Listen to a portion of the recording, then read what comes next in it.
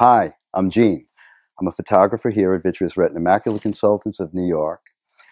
Our imaging department is an integral part of the diagnostic procedure to evaluate retinal conditions and follow the response to treatment.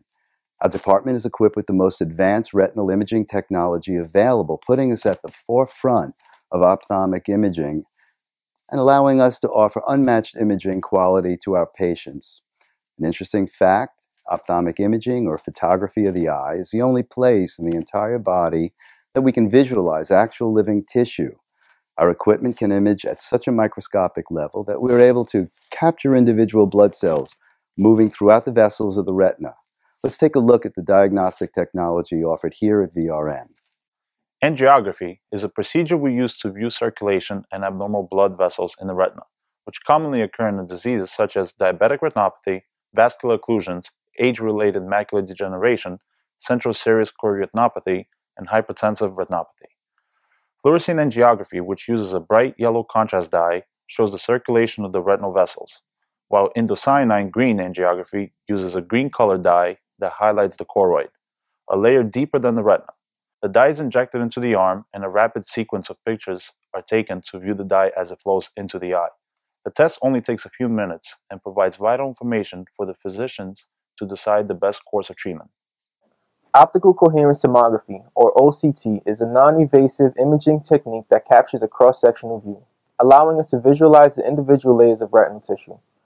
Many people are familiar with computerized tomography performed in hospitals, but unlike most hospital scans, these images do not expose the patient to any radiation. A safe beam of light is used to look at these structures within the retinal tissue, which are not accessible for viewing by normal examination. Seeing the retina from this cross-sectional viewpoint provides us with a powerful way to detect, diagnose, and treat retinal disease. Pathological changes associated with age-related macular degeneration, diabetic macular edema, central serous chorioretinopathy, and retinal edema associated with retinal vein occlusions can be easily detected and monitored with this form of imaging. OCT imaging can also be crucial in diagnosing and following glaucoma with scans designed to calculate changes to the optic nerve and surrounding nerve fiber layer, an area primarily affected by glaucoma. OCT is also imperative in measuring choroidal thickness to detect early changes of certain systemic diseases. Because of our recognized status, many manufacturers utilize our department to test new research equipment before it's available on the open market.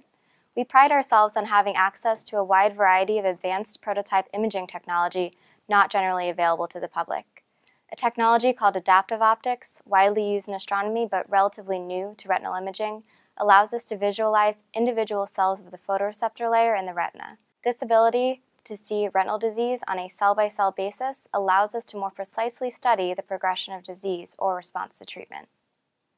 Swept source optical coherence tomography is a type of research OCT using a light wave that more effectively penetrates the retinal tissue, providing us with a more detailed cross-sectional view of the eye. Structures that are unable to be seen on conventional OCT can now be viewed and evaluated in a quick, non-invasive way. OCT angiography is a scan that detects the motion of flowing blood cells and creates an image similar to intravenous angiography, but without the injection of contrast dye, making this a non-invasive alternative to the traditional procedure. Fundus photography is a term we use to describe taking a picture of the back of the eye, an area more specifically called the retina. This allows us to document its current appearance and record for a later reference. Even if you don't have any retinal problems, it's good to have a baseline image for any future changes that may happen. We use filters on the fundus camera to utilize specific wavelengths of light that highlight different areas of the retina. One of these techniques is called fundus autofluorescence, which uses a very specific wavelength to capture the accumulation of a substance called lipofuscin. While this substance can sometimes naturally occur with age, it can also accumulate when cells aren't functioning normally, a red flag that retinal disease may be present. If these retinal changes extend beyond what we can visualize with our normal cameras, we may choose to utilize an ultra-wide field camera. This camera, otherwise known as Optos Imaging System, can document up to four times the area that a standard camera is capable of photographing. In conclusion, the photography department serves as the foundation of the diagnostic procedure for our patients at VRM. All of these highly specialized cameras are available on site so that our patients may access the most state of the art medical imaging available and receive the most cutting edge retinal care, allowing us to diagnose and treat, if necessary, the same day. Thank you.